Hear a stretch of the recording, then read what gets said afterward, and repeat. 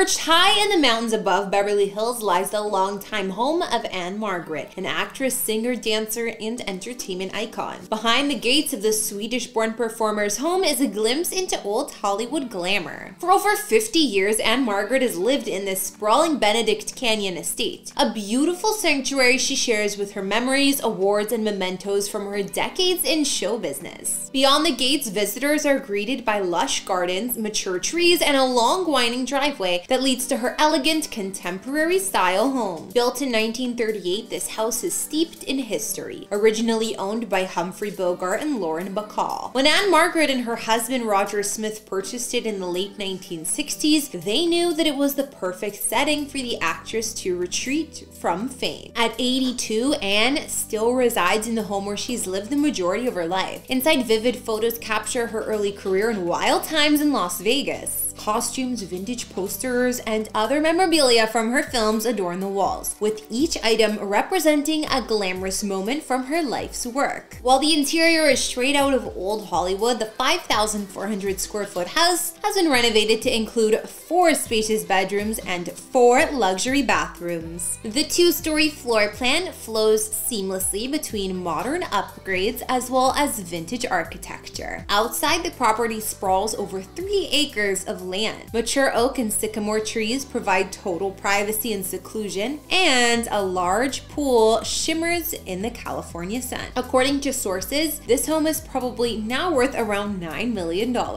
For Ann-Margret, this Benedict Canyon oasis is perfection. Though she often travels, she always returns to the comfort of this exclusive area. Her home sits among other celebrity mansions, yet being known as a very private person, Ann-Margret found her her paradise protected high above the hustle of Hollywood. Long before she rose to fame, Anne Margaret Olsson was born in a small village in northern Sweden in 1941. Her father had immigrated to America but returned to Sweden and married her mother. When Ann-Margret was five years old, the family finally joined her father in Chicago. From early on, Ann-Margret's singing and dancing talents were clear. As a teen, she toured with various bands and orchestras. At the same time, she appeared on the the Morris B. Sachs Amateur Hour, Don McNeill's Breakfast Club, and Ted Mack's Amateur Hour. She continued to star in theater as she attended New Trier High School in Winnetka, Illinois, the same school that had graduated fellow movie stars Charlton Heston and Rock Hudson. She went to Northwestern University after finishing high school and joined the Kappa Theta Alpha sorority. She wanted to study journalism, but she left school during her first year and chose to be part of a group known as the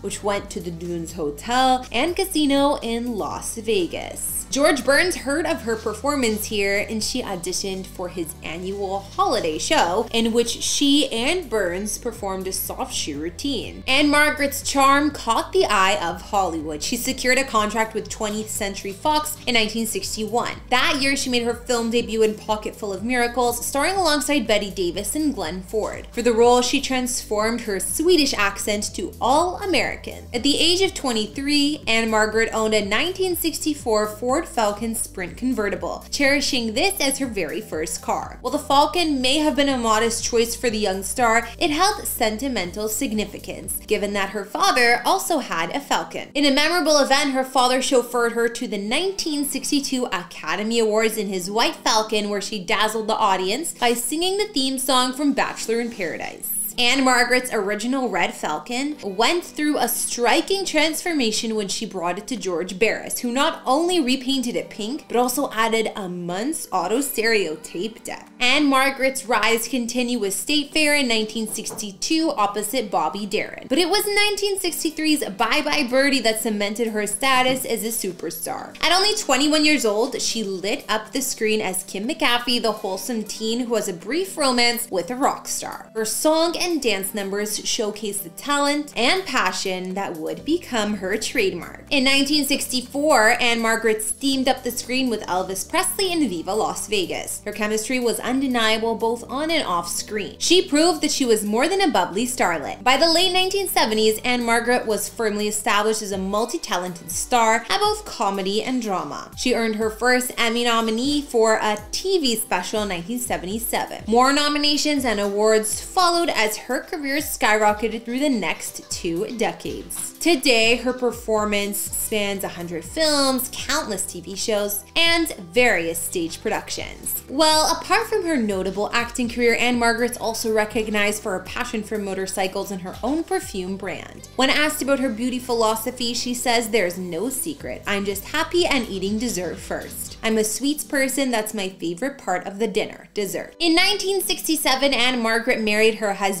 Roger Smith and she took on the role of a mom to three non-biological children. Their marriage endured an impressive 50 years, but sadly concluded with Roger Smith's passing on June 4th, 2017. Now an entertainment legend, Ann-Margret continues to perform occasionally and she brings the same enthusiasm that launched her career in the 1960s. Though her legendary status is cemented, she stays grounded in her Benedict Canyon sanctuary. Beyond the viewful terrace and manicured three acre grounds, her home guards priceless memories. For Ann-Margret, the magic continued. She lived in her Beverly Hills home longer than any other, and decades into her legendary career, and her passion for performing continues to burn bright at 82. While that concludes today's house tour, answer this question for me before you go. Who was your favorite leading lady to see alongside Elvis Presley back in the day? Share your thoughts in the comment section below. Don't forget to hit subscribe and turn on your notifications so you never miss a video. I'll see you all in another one.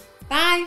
As you might expect from a legend like Martha Stewart, she's lived in some beautiful properties over the years. I mean, her brand is all about cooking and home decor, so she makes sure the places that she calls home also match her image. Whether it's an upscale Hamptons retreat, a massive farmhouse, or a historic vacation home, Martha is living in style. In these videos, we don't reveal any addresses, and even though I've done a house tour of my own place, please do not show up at any private residences because it's not safe for anyone. Martha Stewart is an American icon. Not only has she spent time as an entrepreneur, but she's also a world-famous television personality and one-time model inmate, who over the years of her decade-spanning career has earned a net worth estimated to be in the range of $400 million.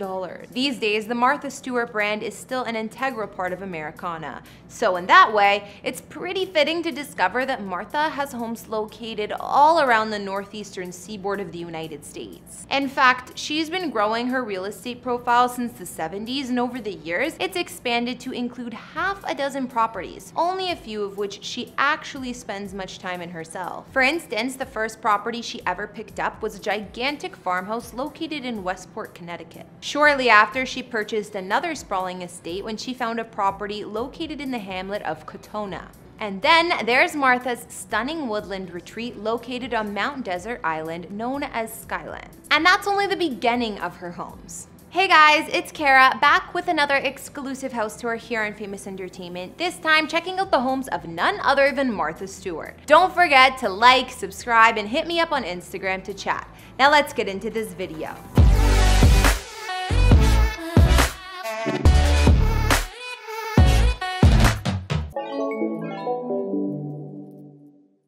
Martha Stewart's first home became a labor of love between her and her then husband Andrew, who purchased this gigantic farmhouse together way back when in 1971 for the amazingly low price of just $46,750. Those were the days. At the time, they had dreams of turning what was already on this two acre plot into the perfect family home, but the original residence was in rough shape. First built back in 1805, by the time Martha got there, not only did the property have a seriously neglected backyard, but the picket fence was in shambles. The kitchen was in total disarray and there was no porch, garage, driveway, or even a working toilet. Regardless, the couple got to work and undertook much of the renovations themselves. By 1975, the couple decided to expand further. They bought the lot located next to theirs for another $47,000. This time, they added two additional greenhouses, a chicken coop, an all-seasons garden, and a massive veggie garden, turning their home into a full-fledged farm. Now, in terms of the interior of the main house, the original structure boasted three bedrooms and two bathrooms, but Martha would expand that count to five bedrooms and four and a half bathrooms, increasing the overall square footage to 6,710 square feet. Martha was so hands-on during the reno, she even got down on her hands and knees to stencil the wooden floors while also painting the remarkable mural that highlights the front hallway. Since moving here and undertaking all of these renovations, Turkey Hill, as it's come to be known, is what many people consider to be Martha's most iconic home. Not only did Martha fill its halls with some of her most enviable antiques, but it was in this very house that Martha would write several of her first cookbooks, including Entertaining, which gave her fans an in-depth look at her dining room. This was complete with her grandmother's china and even her mother-in-law's silver. Martha would live in this house for 30 years. She only moved out and started spending time in her litany of other properties in 2007. At that point, she sold the farmhouse for $6.7 million. Dubbed Cantitoe Corners, Martha Stewart's current sprawling farmhouse is 153 acres of land that she purchased back in 2000 for the whopping price of $15.2 million and located in Bedford, New York. Sold to Martha by the family of Ruth Sharp, a millionaire who had owned the property for 50 years before her passing, this estate is composed of several buildings strewn throughout the immense grounds, making it look more like a village than, say, a home.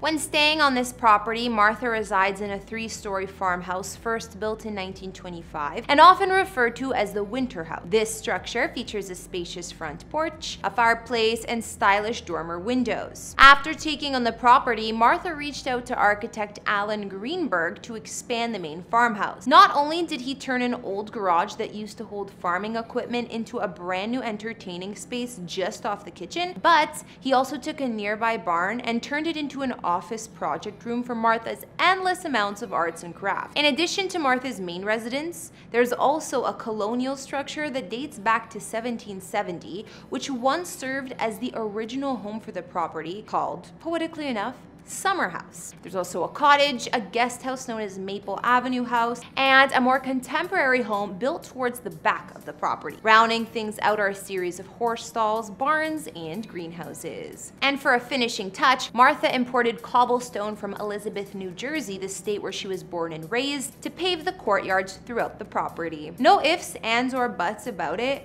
those two homes are fantastic. But when Martha's looking to get away for a little R&R, she also has a couple of vacation properties that are also enviable. Let's start with her historic house located in Maine. Martha calls it Skylands and it sits on Mount Desert Island. Like many of Martha's other homes, this property is steeped in history. Completed in 1925 for Edsel and Eleanor Ford of the Ford Motor Company, Skylands is sprawled across 63 acres of pristine woodland. The Ford family would summer here every year until 1980. 17 years later, Martha would buy the property for herself for $5.4 million in 1997. At the time of the sale, everything in the home was included, which meant that Martha didn't have to buy a single plate, even though she's no doubt added her share over the years. The massive stone house sits on top of a hill and contains a dozen bedrooms alongside 8.5 baths and nearly 15,000 square feet of space. It also includes granite paving throughout the interior, beamed ceilings as well. Rounding out the additional spaces is a cathedral-like main hall, a sun-filled living room, a cool flower room, a stunning library, and a kitchen to die for. But as eye-catching as the interior of this place is, when Martha's spending time here, it's really all about those views. Over the years, Martha has taken to spending more and more of her free time here, and it's gradually become the favorite of her many homes. In 2015, she decided to expand the property by purchasing a $4.2 million six-acre neighboring estate called Ox Hill Law. This addition may be less grand than Skylands, but it still includes a main residence that boasts nine bedrooms, 7.5 bathrooms, and roughly 6,800 square feet of living space. Finally, we've come to Martha's Hamptons escape. She fell in love with the Hamptons during a summer spent at Kurt Vonnegut's home in the 90s and became so enchanted with the idea of living there that she found her own slice of heaven and purchased what has come to be known as Lily Pond Lane in 1995 for $3 million. First built in 1873, this shingled cottage space is just a 10 minute walk from the beach and at one point featured some truly stunning rose gardens that Martha eventually ripped out, worrying about the potential safety of her grandchildren. Much like with most of her other properties, once Martha moved in, she began to renovate thoroughly, while keeping many of the original fixtures to retain as much charm of the property as possible. Martha would touch up the cracked plaster ceiling, add additional windows to provide further natural lighting, and she even added a fresh coat of paint to replace the white walls with warmer buttercream tone. Meanwhile, outside is a garden lover's paradise. Not only are there gorgeously green private hedges, there are also trees and plants that run for about as far as the eye can see. In the event that gardening isn't your cup of tea, then you can spend time in either the gigantic pool or the even bigger front porch that houses a dining table capable of seating as many as 60 guests. Over the years, Martha would come here whenever she needed a little time to get away from it all. Being the busy person that she is, that didn't wind up happening all that often. As such, Martha eventually decided to sell this property for $8.4 million in 2021. All right, guys, that's gonna bring this look at four of Martha Stewart's most remarkable properties to a close. Which one do you think suits Martha best? It's hard to choose, but maybe I'll go with her first farmhouse or her Hamptons getaway. Anyways, be sure to leave your thoughts down in the comment. Thanks for tuning in. Don't forget to follow me on Instagram and I will see you all in the next video. Bye!